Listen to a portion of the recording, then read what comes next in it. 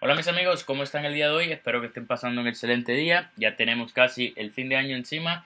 Y bueno, pues aquí estoy trayéndole una pequeña solución para poder eh, solucionar los problemas que encontramos al instalar tweaks que a veces no aparecen ajustes después de reiniciar el dispositivo, etcétera.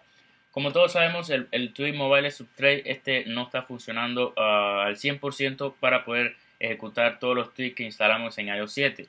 Ah, había una solución, existía una solución anteriormente de que cada vez que instalamos un tweak teníamos que reinstalar el Mobile Subtrade, pero esto ya no está funcionando como eh, funcionaba hace unos días atrás.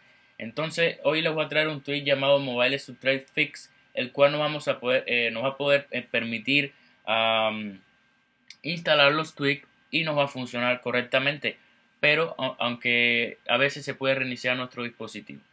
El tweak lo vamos a encontrar en una repo que yo les voy a mostrar a continuación. Si no pueden verla en el video, le va a aparecer a, la mano derecha acá, le va a aparecer el tweak, eh, perdón, la, repo.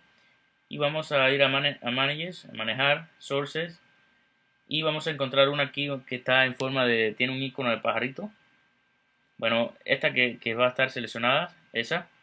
Ustedes igual van a encontrarla ahí, aquí en la pantalla van, a ver la, la repo. Ustedes la instalan y cuando la tengan instalada van a entrar dentro de la repo y van a encontrar esos tres tweaks que están viendo en pantalla.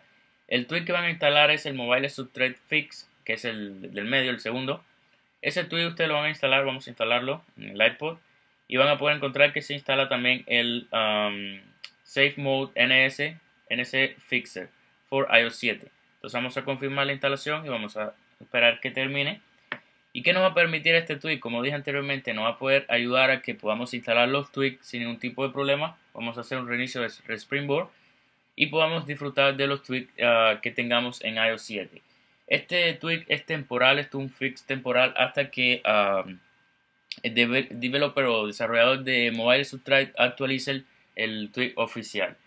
Eh, ok, vamos a, vamos a regresar a la pantalla home screen y bueno, vamos a ver que no nos agrega ni un solo icono.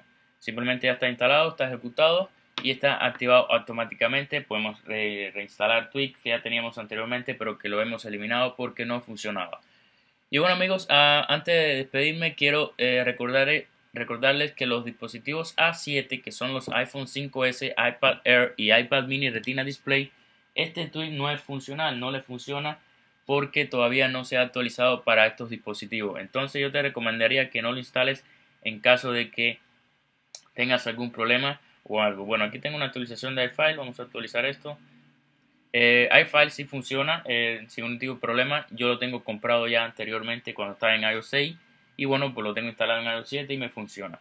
Así que amigos, esto es un saludo para todos. Espero que les guste este video, que les solucione algunos de sus tricks. Y bueno, pues si te gusta este video, gracias por verlo y dale manito hacia arriba. Un saludo para todos y nos estaremos viendo en un próximo video.